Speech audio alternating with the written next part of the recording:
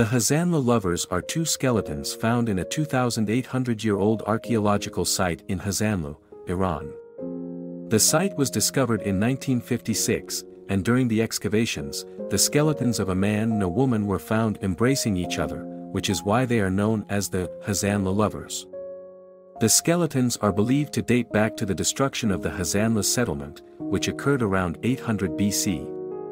The Hasanlu lovers have become famous due to the poignant and romantic nature of their discovery.